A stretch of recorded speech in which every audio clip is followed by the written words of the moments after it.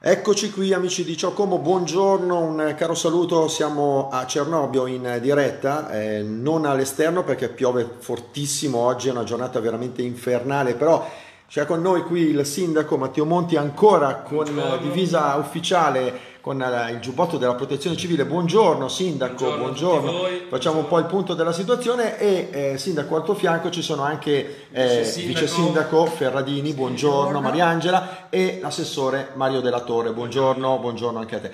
Ehm, allora, dire che adesso è una settimana esatta da questa frana, siete un po' più tranquilli, avete fatto... Sì parecchia roba, tra cui adesso c'è una notizia proprio di, di, poche ore fa che è questo ponte. Sindaco, facciamo il punto della situazione. Sì, allora io eh, mi sento in dovere prima di tutto di, di ringraziare che sono qua con me eh, il vice sindaco e, e, l'assessore che erano i primi a essere arrivati sul posto, poi la, la situazione è stata delicatissima perché poi in un primo momento il vice sindaco voleva avere la certezza che non ci fossero macchine e persone sotto la frana e quindi magari lascio un attimo di spazio a, a chi vuole dire due capisco che la sensazione, la delicatezza in quel momento lì è stata importantissima e quindi è stata una settimana anche difficile sì, difficile perché comunque eh, affrontare una frana in tempi rapidi perché questo è quello che ho sempre detto dando dei giorni fissi di quello che si voleva dare l'abbiamo garantito perché davvero ognuno nel proprio ruolo quindi sia il vice sindaco che l'assessore ma tutta l'equipe del comune quindi dagli operai dal responsabile, da chi ha voluto garantire, dalla comandante della polizia locale, che ringrazio in tutto questo ruolo, ognuno nel suo ruolo ha cercato di garantire e soprattutto, lo dico qui, i residenti della frazione di Ravenna. Cioè questo hanno risposto subito a creare, io la chiamo sinergia. Ecco, eh, diciamo questa volta senza polemiche, no? No? tutti assieme sì, a sì, fare squadra, sì, così sì, sì, certo, a prescindere dai ruoli, lo dico qui perché anche i consiglieri comunali, chi magari un po' meno e chi di più mi ha chiamato e mi ha detto sindaco è meglio passare dalla via colonna, sindaco è meglio accendere una luce in più, sindaco attenzione a questa cosa qua e questo ha permesso di ognuno nel proprio ruolo. Però io ci terrei Sentiamo, sì, sì. due parole de, del primo momento che erano lì, perché questo una... Mariangela, allora, che cosa, cosa è accaduto? Ecco, nell'immediatezza il sindaco era via, lo diciamo. La prima volta. È la prima volta, certo. È la prima volta, ma era via per lavoro, non è che era sì. via per... Ecco. E... Mi hanno chiesto di andare via per le ferie e ho detto stacco qualche giorno e questo ecco. è. Eh, mi hanno chiamato alle 9, dopo le 9 di sera i carabinieri eh, la preoccupazione immediata è stata che ci fosse qualche eh, ferito esatto, qualche eh, sì. perso- o anche qualche auto che fosse rimasta sotto. Mi hanno subito al telefono eh, detto di stare tranquilla che non c'era niente, però io ho chiamato eh, l'assessore della torre, siamo andati immediatamente Quindi siete arrivati frana, su subito voi? Subito. E poi ci hanno spiegato appunto da dove veniva prima di tutto la loro sicurezza che non c'erano eh, feriti, sicurezza che veniva dal fatto che la frana è stata vista da una persona proprio mentre eh, succedeva, per cui hanno potuto assicurarci che non c'erano persone, non c'erano neanche eh, mezzi eh, sotto. Beh, a quel punto lì poi abbiamo chiamato subito il sindaco. eh sì, giusto perché eh, lui è partito ecco, subito. È partito, sì. ci ha aiutato anche durante il viaggio con i contatti. E, basta, poi è arrivato lui, abbiamo tirato il sospiro di sollievo. Ah, ecco, diciamo sentiamo anche, anche, Mario della Torre. Sicuramente supporto importantissimo dei vigili del fuoco che ci hanno rassicurato in tutte le prime operazioni avevamo anche supporto della, polizia, della nostra polizia locale, dei nostri tecnici, quindi panico sì, ma relativo, effettivamente è stata una cosa secondo me gestita anche in quella fase lì bene. Ci siamo attivati subito con la segnaletica, bloccare le strade, le verifiche, gas, Enel, insomma la macchina si è mossa subito e senza intoppi diciamo e da lì niente è partito poi tutto l'iter che Beh, è seguito si può dire che insomma eh, poi anche come ha detto il sindaco in effetti anche i residenti che alla sì, fine all'inizio immagino avranno avuto un momento di sconcerto certo, perché certo. sai stare bloccati eh, cioè, li abbiamo incontrati subito comunque anche ah, la sera dopo siamo saliti ci avete parlato su quindi no, sì, vabbè, sì, sì, no, mi fa piacere oggi e, e il sindaco, l'assessore, ovviamente Matteo il sindaco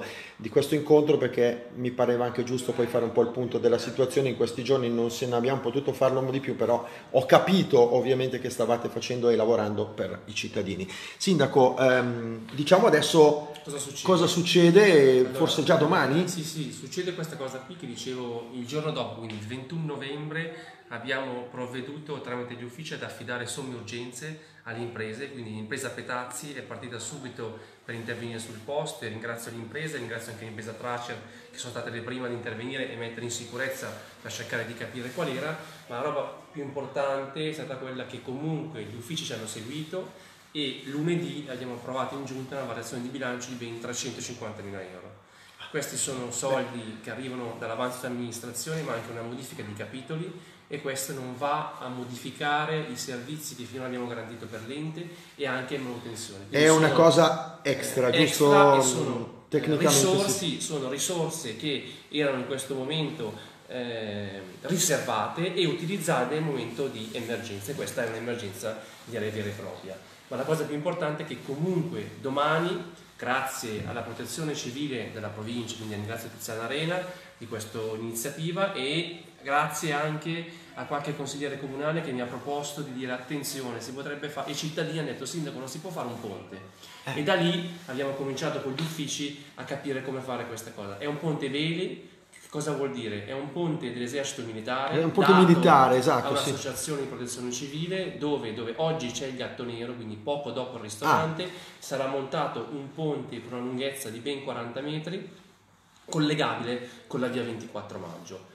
Questo però, Quindi si scavalca si, la frana. Si passa completamente sopra la frana e lo dico qui, sulla frana transiteranno solo eh, veicoli, i pedoni non potranno transitare. Perché?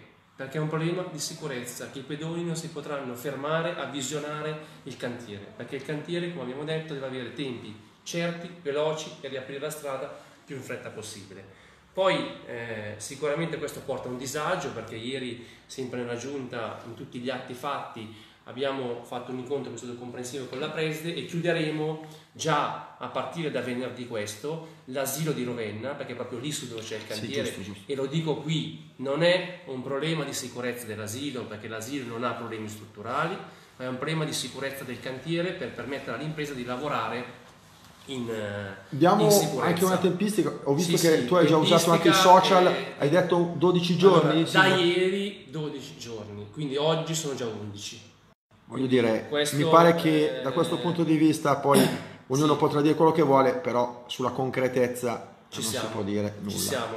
Poi ecco, tempo permettendo, perché ecco, anche adesso... Certo. Adesso sta diluviando. Ormai abbiamo i telefoni sotto controllo. Ma domani le previsioni sono migliori. Domani sì. le previsioni sono migliori. Alle 8 è previsto il passaggio di mezzi, quindi anche qui chiedo ai cittadini, e questo stiamo facendo il comunicato oggi, di non parcheggiare e capisco il disagio, ma permettetevi, è meglio essere in sicurezza piuttosto che parcheggiare, di lasciare libero il tratto di auto dal Polirolo fino alla eh, frana, ecco, per dom- permettere il passaggio dei mezzi eh, pesanti.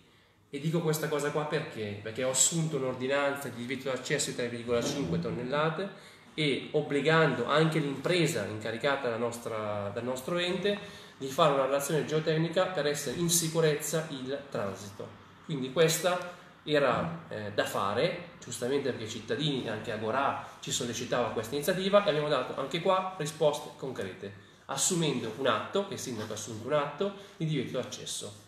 So che creo qualche disagio perché alle imprese che stanno lavorando sicuramente ci sono, eh, però, eh, ma sì. la sicurezza dei miei cittadini e delle strade è prioritaria.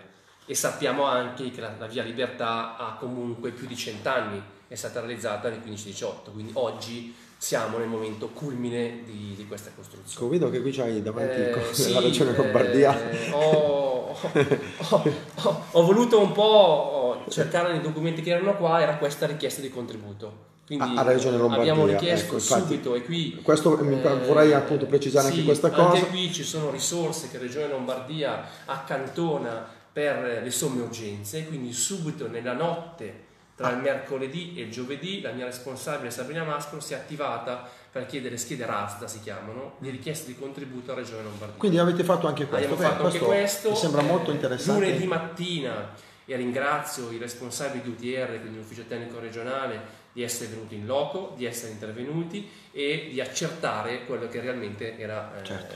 avvenuto. Avrei preferito avere qua Regione Lombardia per qualcos'altro, ma invece eh beh, sì. è qua per questa somma urgenza. Perfetto. Anche loro hanno risposto in tempi rapidi e un'altra cosa che vorrei aggiungere è che comunque ognuno ha il proprio ruolo, quindi ringrazio anche SF perché abbiamo insieme a loro collaborato e messo, messo risorse in contemporanea perché garantiamo il servizio fino alle 20.50, quindi dalle 6.35 del mattino fino alle 20.50 con le navette, più abbiamo messo una navetta che va da Toldino Gattonero fino ad arrivare alla frazione di Ravenna e un'altra cosa, dalle 6.30 del mattino alle 24 è garantito con o cooperativa incaricata da noi e i volontari che garantiscono questa viabilità alternativa.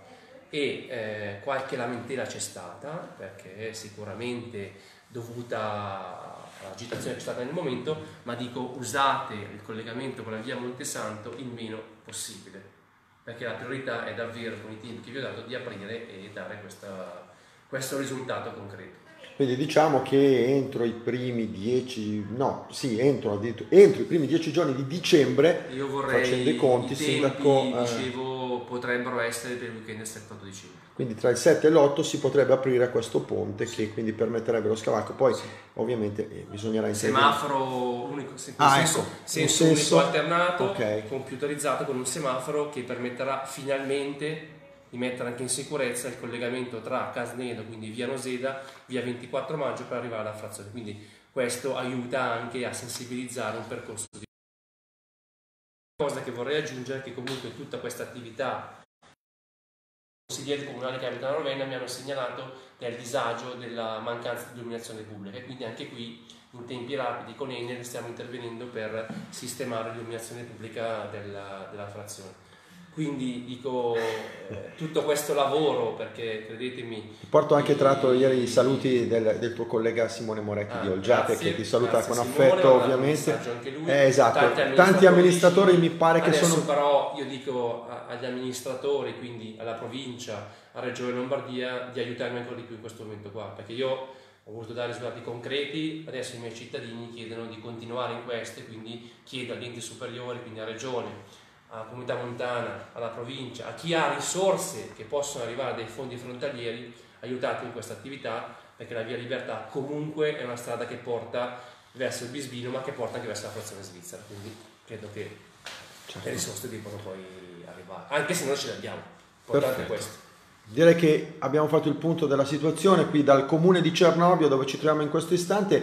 Saluto e ringrazio anche Mario Della Torre, Mariangela grazie. Ferradini, il vice sindaco. Grazie, grazie al sindaco per la cortesia perché era anche giusto importante far chiarezza, far sapere alla gente che cosa state facendo. Quindi l'appello conclusivo domani evitate di lasciare le auto sì, perché sì. devono passare. Lungo ecco, la via libertà evitate completamente di lasciare le auto. Domani perché... mattina è importante quindi e poi da domani si parte per la costruzione Vedrete, del ponte. come vi ho detto in tempi rapidi.